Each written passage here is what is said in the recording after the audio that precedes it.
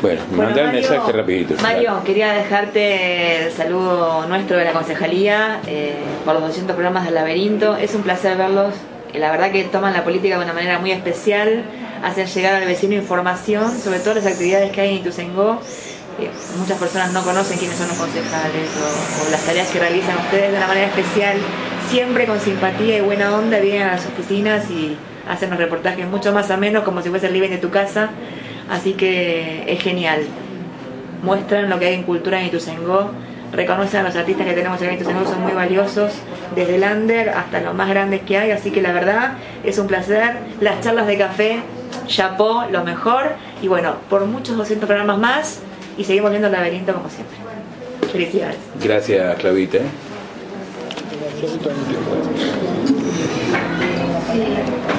Don Esteban, mi amigo Esteban, periodista, maestro de muchos de los que después de vos agarramos este sendero.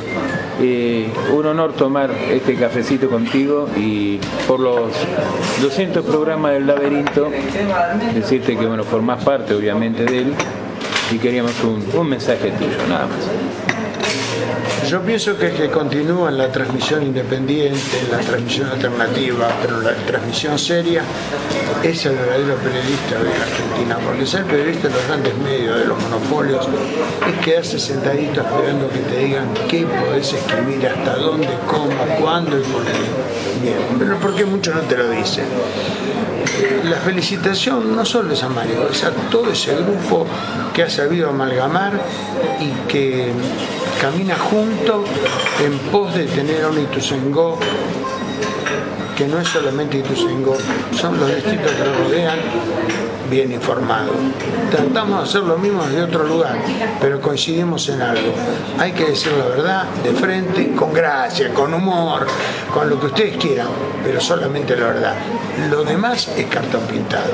Gracias Mario y que, que sean 200 más. Te agradezco mucho Esteban, ¿eh? muy amable.